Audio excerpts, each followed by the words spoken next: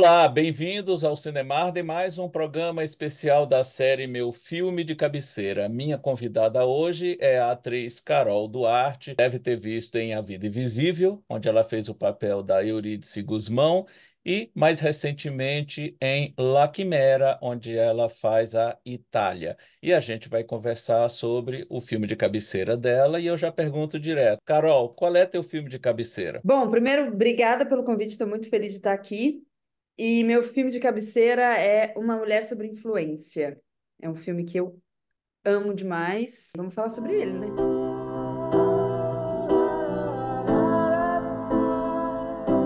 I like your friends. I know it. I know that. I'm not one of those stiffs that you like with their noses up in the air and boom boom with their noses up in the air. Ooh, ooh, how awfully nice. Was looking at you this way.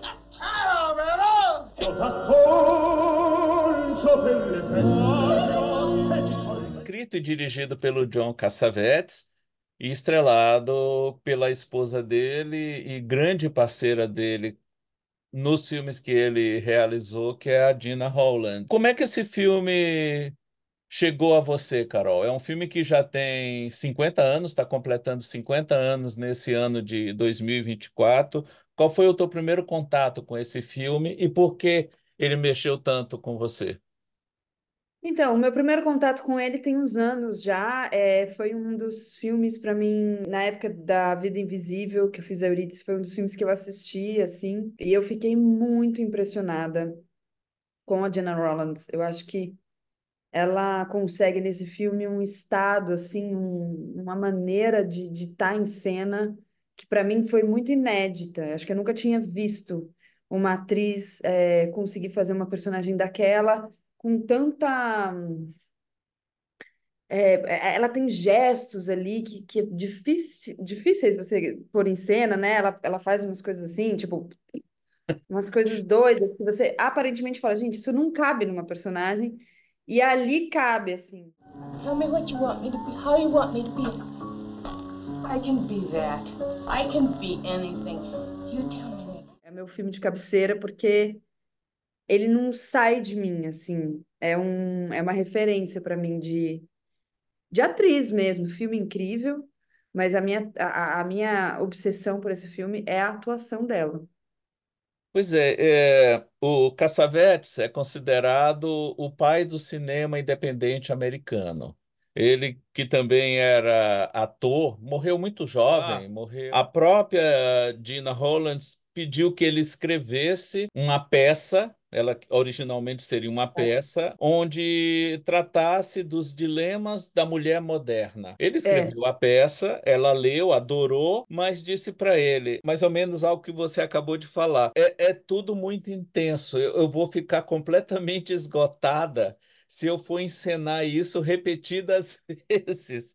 Então, eles terminaram optando por fazer um filme, e o filme teve uma trajetória muito sofrida no início, né? Ele não conseguiu distribuidor, nem para. Primeiro, ele não conseguiu um financiador. Ele teve que hipotecar a casa para conseguir levantar dinheiro para fazer o filme. Ele, quando o filme estava pronto, ele não conseguiu distribuidor. Ele ia com as latas de filme de cinema em cinema negociando a exibição. As Uhum. coisas só mudaram quando o Scorsese, que era fã do, do Cassavetes, disse que só deixaria que um filme dele participasse de um festival, não sei se era o Festival de Nova York, um festival qualquer de cinema na época. O Scorsese estava com um filme novo, o Alice Não Mora Mais Aqui, e o filme Uhum. do Scorsese foi convidado para participar do festival. E ele disse que só permitiria que o filme dele fosse para esse festival se o filme do Cassavetes também fosse convidado para integrar o, o- aquele festival. E a partir daí conseguiram um distribuidor por conta dessa pressão do Scorsese, e o filme teve um, chegou, né, a- às telas. Mas, claro, o, o tipo de cinema do Cassavetes não é um cinema assim para grande público. A, a Uhum. forma como ele filma, as questões que ele levanta, e você vê muito isso no Mulher sob Influência, né? E da É. mesma forma que você ficou assim impactada. Eu também, eu revi o filme depois que a gente conversou recentemente, quando você me disse qual seria o filme, e esse gestual dela, né, com caras e bocas, mexendo os braços, as mãos, é, Impressiona, né? Como é que ela sim, constrói essa. Né? E também pensar que o Cassavetes também gostava dessa coisa toda da atuação, né? Muito interessante ver essa relação, porque é um filme de personagem mesmo. É um filme que foca nela, e, enfim, o, o ator que faz o marido, que me fugiu o nome, você Peter tem. Falk. É fantástico também, acho que é uma junção ali. Se eu não me engano, os filhos são os filhos deles, né? É, a mãe é a mãe dela na vida real e a sogra dela é a sogra dela mesmo na vida real. É, Eles fazem isso, assim, eu acho que também tem intensidade nisso, né? Mas, mas ela, ela não querer repetir isso no teatro tantas vezes, quando você vê o filme, você fala, sim, porque eu acho que estar naquele estado todo final de semana, toda semana, deve ser exaustivo. E, e eu acho que ela tem uma construção muito original na personagem dela, que é, é um jeito meio doce e ao mesmo tempo ah, ela, ela criou uma figura doce, ao mesmo tempo você fala, nossa, é uma louca, mas no filme você consegue entender a lógica dela, sabe? Você você tá com ela, ela, não, ela não, tá- não é uma personagem absolutamente desconectada. O figurino dela também é super interessante no filme. Ela tem uma sandália com meia, assim, uma coisa absolutamente incomum. E vez ou outra sai do pé, né? Você vê que tem cenas que ela começa a andar, a sandália salta fora. É, Então, eu acho que é a primazia mesmo da, da construção de uma personagem que, que foge de uma obviedade, assim. Se a gente for falar de uma mulher com filhos e marido que, que não tá, que não tá bem ali, você pode até pensar numa coisa óbvia, mas ela cria uma, uma figura que, que, que tá para além, assim. Ela, ela parece que parece que não vai sair dali, sabe? Como atriz, assim, ela entrou num nível de atuação ali muito interessante. E até por conta de baratear a produção, uma vez que foi com recursos próprios e dinheiro emprestado ou dado por amigos do casal, né? Ah, o figurino é dela própria. Aquelas roupas ela tem mesmo em casa, ela usou o próprio guarda-roupa Eu dela. não sabia disso. Ela própria fez a maquiagem e o cabelo. Você vê com uma coisa que me chamou a atenção. É, a primeira, bem no começo, ela está muito bonita. Você vê que ela está produzida, aquela sequência quando ela, que quando ela entrega os filhos para a mãe, aí vai naquele bar, conhece aquele cara e tudo. Depois, quando o marido volta, que ela recepciona ele com aqueles amigos, prepara macarronada. Aí tem aquele momento mais para o final, depois que ela é internada, você vê uma, uma mudança muito forte no É, visual dela. E tudo isso ela própria cuidou disso. Não teve uma equipe de maquiagem, uma equipe de figurino para cuidar desses detalhes. Então você vê que há um, houve um envolvimento muito grande dela e do marido na produção do filme. E do Peter Falk também, que lógico. topou fazer o filme, não cobrou cachê, fez o filme de graça. Assim, foi a forma que ele encontrou para ajudar na produção, ele não cobrou cachê. Então, Uhum. você vê que é um trabalho assim de, April's not crazy. She's unusual. de união mesmo entre essas pessoas para conseguir realizar uma obra de arte. É, é interessante isso, né? Pensar. Porque hoje em dia a gente pensa cinema também, é, é muito caro fazer cinema, assim. Acho que as pessoas que que estão aqui ouvindo a gente devem saber um pouco, mas trabalham no cinema, enfim, mas é, só para dizer que, de maneira geral, não é uma, uma, uma coisa simples. Exige muito dinheiro, uma produção, uma pré-produção e tal. E às vezes a gente fica pensando que precisa de tudo isso para fazer um excelente filme, né? Talvez um orçamento grande faça um excelente filme, mas não é verdade, assim, isso não é óbvio. Ou como um filme desse independente, é o como eles pensam o cinema e acho que elaboram a personagem e a e, e esse filme que é a parada do negócio, sim. E depois eu fiz um filme chamado Malu, que é um filme dirigido pelo Pedro Freire, e numa conversa com ele, um pouco antes de eu, da gente, enfim, fechar que eu ia fazer o filme e tal, gente fala muito do Cassavetes e tal, e como ele também é referência um pouco nessa condução de direção de ator, de alguma forma. Como é que ele consegue nos filmes dele, também tem outros filmes, né, que você pode, você mesmo falou, né, ele fez muitos filmes com ela, junto com a Gina Rollins, é, é, tem uma maneira de pensar cinema ali, tem uma maneira de, de conduzir as histórias que é muito interessante, que acho que influenciou muita gente depois também. Você falou que viu esse filme como preparação para o seu papel da Eurídice no Vida Invisível. Que elementos você pegou da personagem para a Eurídice? É, não é assim tão. Óbvio, né? É, não, não é uma coisa tão, tão assim. Eu, eu fiz isso, né? A gente viu vários filmes de referência. Um deles era Uma Mulher Sob Influência. Também tinha Clarice Lispector nas minhas referências. É, é difícil para mim agora dizer é, é, é isso. Eu acho que o trabalho de maneira geral da Jenna Rollins, ele é ele é uma lógica ali bastante são personagens que existem mesmo estranhos, mesmo mesmo estranhos. Tem uma você não você não fala, gente, é, nossa, o que ela tá fazendo não faz o menor sentido quando ela faz algum gesto tipo esse. Que é, como é que você põe isso numa cena e fica tosco, né?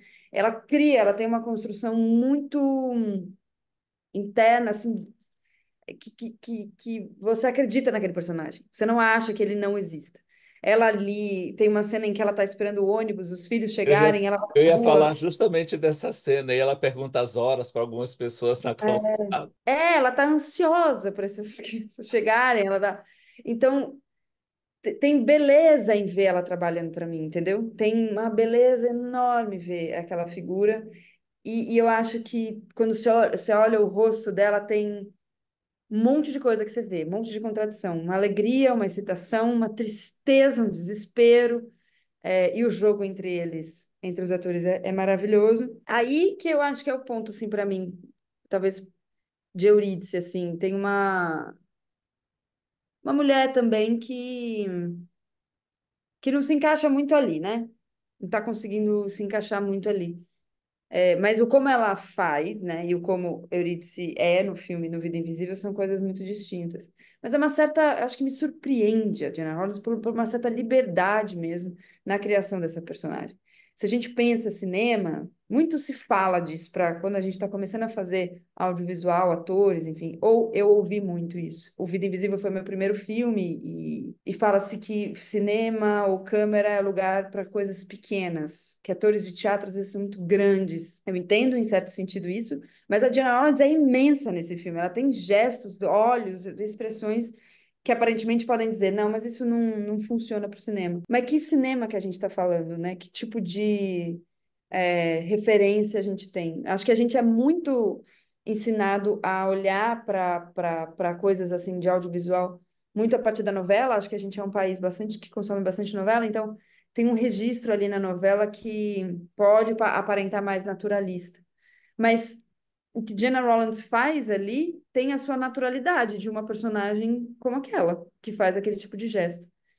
Então foi mais uma surpresa diante de um de uma coisa que fugiu da curva completamente para mim, do que algo que eu de fato peguei e fiz na Eurídice, assim, porque também é, são personagens bem diferentes, assim.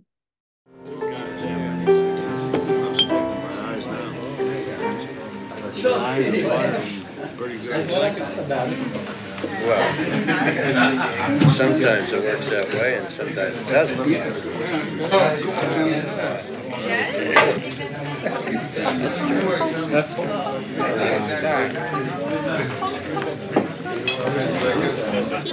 Hi. Hi.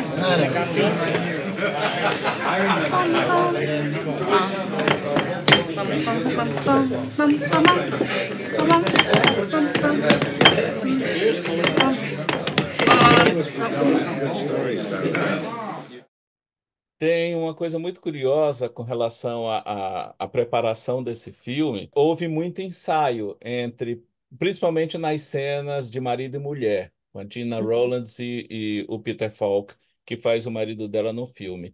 Eles ensaiaram muito essa cena. Só que o Cassavetes safo como ele era, ele gravou muito desses ensaios e usou cenas de ensaio que para eles ficaram muito boas na, na montagem final. Montagem. Tem que os atores soubessem. Não sabia disso.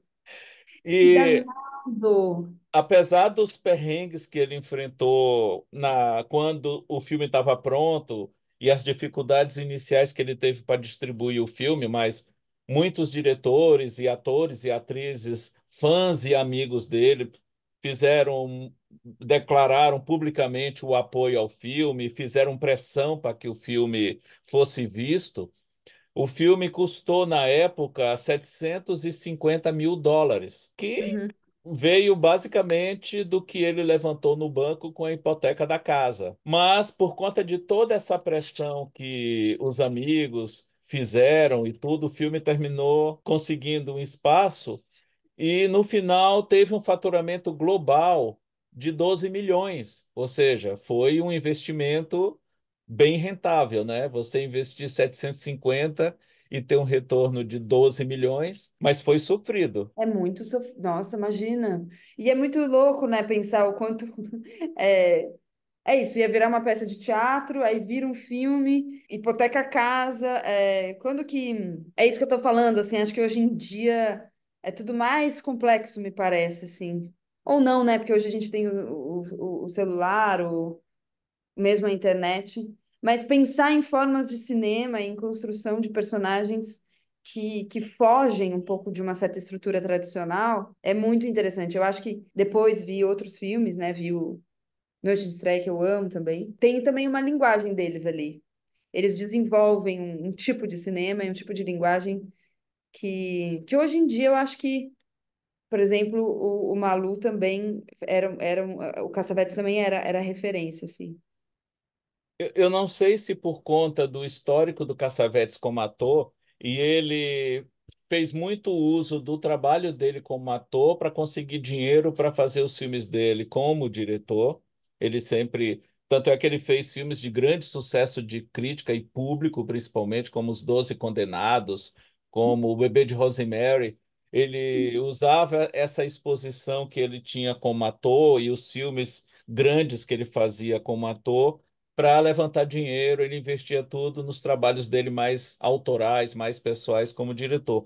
Mas vendo toda a obra dele, e eu acredito que isso muito vem dele próprio ser um ator, você percebe que há uma valorização muito grande da atuação nos filmes dele. São histórias que são centradas no trabalho do ator e da atriz. E esse filme, em particular, você vê, não tem assim muitas pirotecnias de câmera, de iluminação, de movimento, nem nada. Não chega a ser uma peça filmada, porque o filme tem É, muito movimento, mas você vê que o que segura o filme é o trabalho de atuação, é, principalmente da Gina Hollands, e claro, na mesma medida do Peter Falk. É um, é um filme de atores, não tem é, como deixar isso de fora. É, é um filme de atores. Eu acho que por isso que, que me surpreendeu, assim, quando eu assisti a primeira vez. Talvez tenha sido a primeira vez. Foi a primeira vez que eu vi um filme dele. É, e foi a primeira vez que eu, que, que, que eu falei, nossa, cabe uma certa construção louca numa câmera, assim, dependendo do que se pensa que pode vir a ser esse tipo, um cinema, entendeu? É, acho que se abriu um pouco uma, um, um horizonte. E, é- e é louco porque é, hoje em dia, assim, eu não sei se as pessoas conhecem tanto essa atriz, sabe, a Jenna Lawrence.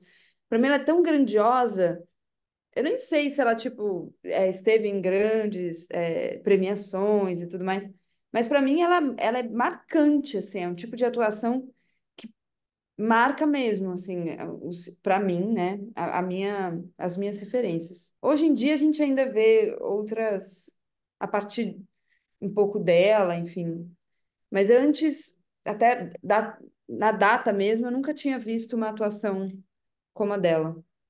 É, ela fez muitos trabalhos, ela, ela está hoje com 94 anos, ela já está há uns 7, 8 anos sem atuar, até talvez por conta da idade, mas os trabalhos mais lembrados dela, mais significativos, foi o que ela fez com o próprio marido. Tanto é que ela É. recebeu duas indicações ao Oscar de melhor atriz por trabalhos em que ela foi dirigida pelo Cassavetes. Um deles é o Mulher sob Influência, ela foi indicada ao Oscar por esse papel, não ganhou.